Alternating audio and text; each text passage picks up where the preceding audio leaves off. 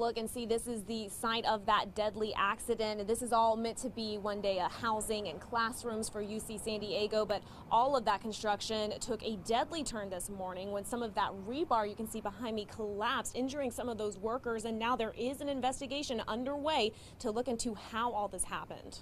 About 8.30 Thursday morning, a nearly 35-foot rebar wall collapsed at this construction site near Torrey Pines Road in La Jolla. San Diego Fire Rescue tells Fox 5 four men were rushed to the hospital, one with a serious head injury who later died. Another man said to have serious injuries and two others also treated at the hospital but expected to be okay. The workers were on the site of a construction project for six new student housing buildings, classrooms, lecture halls, shops, dining options, and an underground parking lot.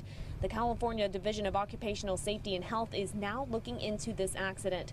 We reached out to the construction company involved and received this statement that reads in part, quote, we take all matters involving the safety of our workforce, our job sites, and the public seriously. Our deepest sympathies are with this individual's family, friends, and coworkers during this incredibly difficult time.